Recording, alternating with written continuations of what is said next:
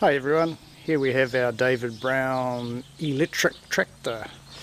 Um, so David Brown 880 that's been converted. Just running test batteries at the moment, just some lead acid batteries. But you can see I've got the slasher mower attached to the back and it's a 1.5 meter mower and we're going to give it a run today and mow a little bit of grass and see how everything runs. Um, I'm going to be using a combination of this handheld video camera and a head mounted video camera um, and I'll see see how well we uh, see how we can get everything video for you. Uh, so let's hop aboard and start up. Okay so we're now on board and we're going to go run through the startup procedure. So first of all turn on the main key which starts the 12 volt supply.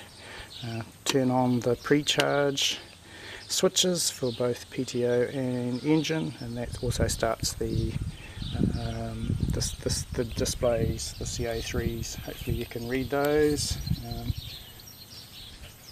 and uh, see what's happening here at the moment. So we've got about 80, 80 volts um, through the batteries at the moment, so um, 72 volt supply. Um, now we'll just turn on the main contactors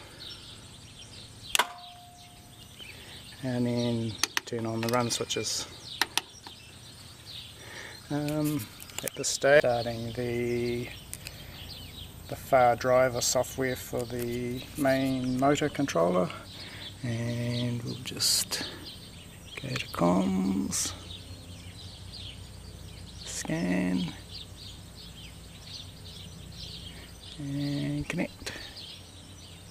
And I connected OK so now we can we can see have the display running as um, as we're doing stuff as well so um, Right, uh, okay, now let's, uh, first of all I'm going to start the PTO motor and raise the hydraulics so that we can get the uh, topper off the ground, uh, lock it in place and then drive to the paddock. So.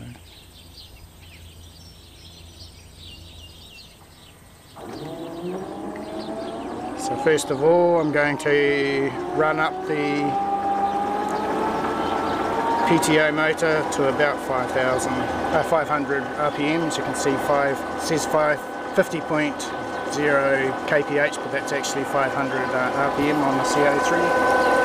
You can see that there, and then we'll raise the PTO.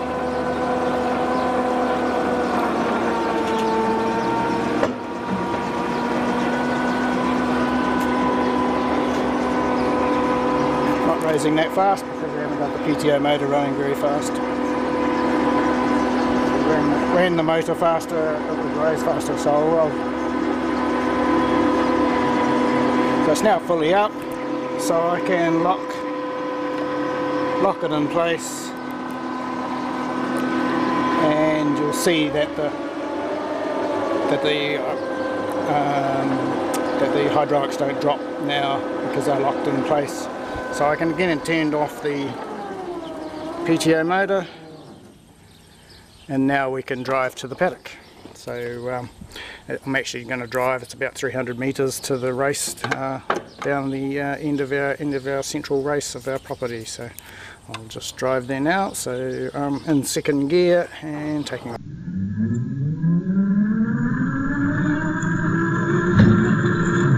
see some of the uh,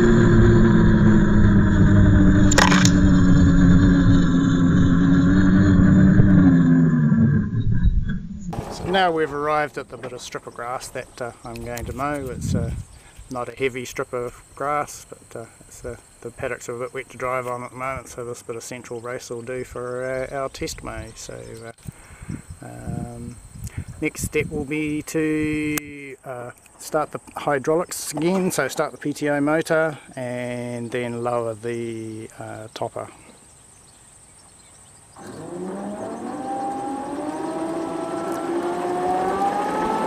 So again setting the revs at about 500. Uh, raising the mower, you can hear it now. Um, disengaging the lock.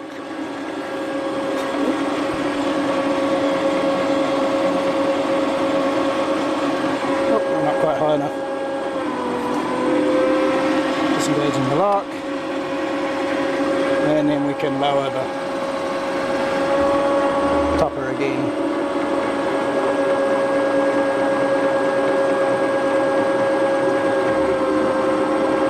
So now that it's lowered, I'll stop the PTO motor.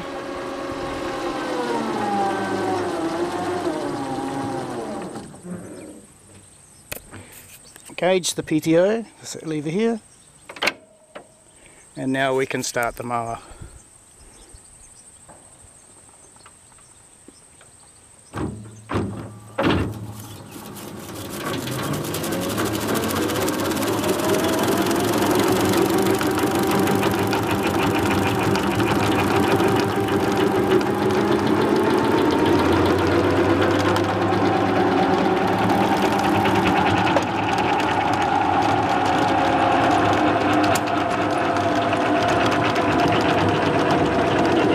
and we'll raise it to about 800 to 900 RPM.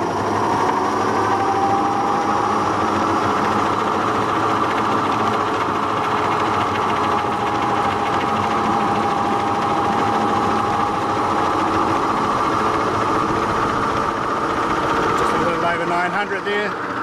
See it's turning over quite nicely. So now we'll uh, put the gear into second and we'll mow this bit of grass.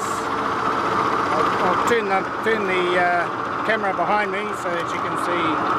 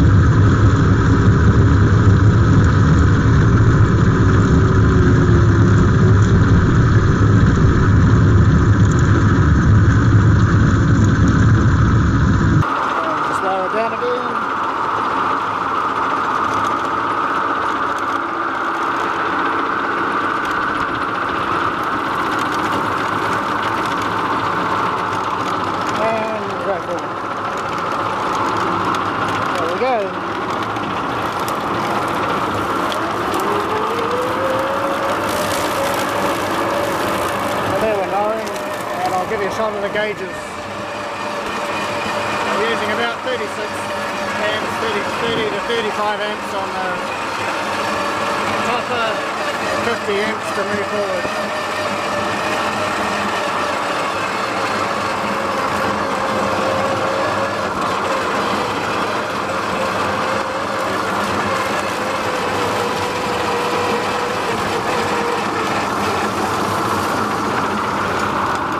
have our mode race. I now stop the topper. Just take take the load off the thing and then I can actually disengage the topper. And the topper will just continue to freewheel now.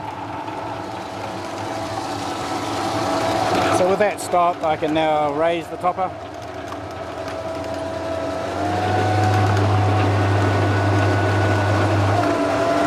lock it into place and we can drive now back to the uh, shed.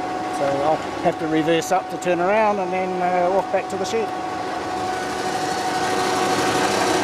Um, because it's, it's locked in place I can actually turn the PTO off now.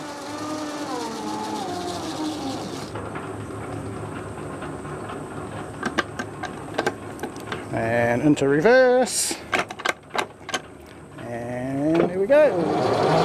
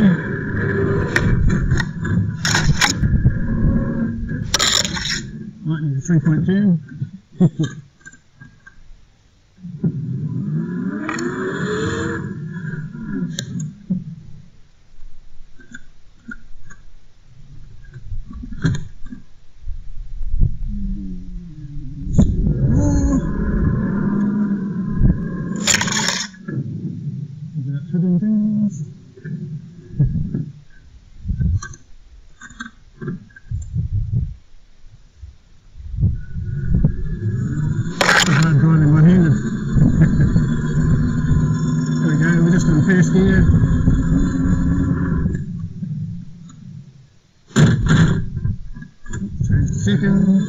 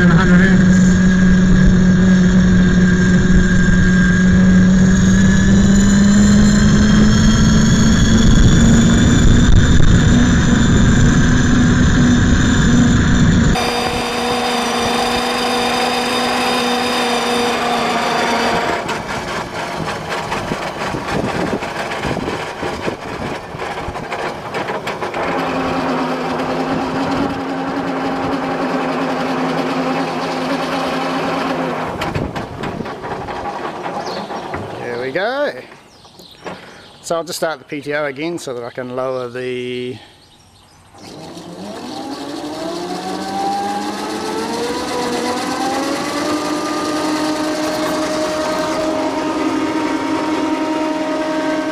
disengage the lock and then I can lower it.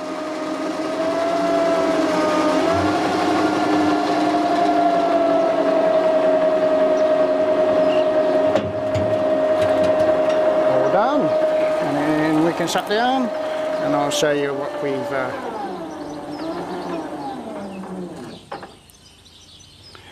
So if you look at the gauge now, this is the one for the PTA gauge. Um, hopefully you can see the screen okay there. Um, says we've used 184 watt hours on that on that uh, circuit. And the motor's at 21 degrees and we've used 2.59 amp hours. If we go across to the other gauge, you can see that. We use 325, motor's a little bit warmer.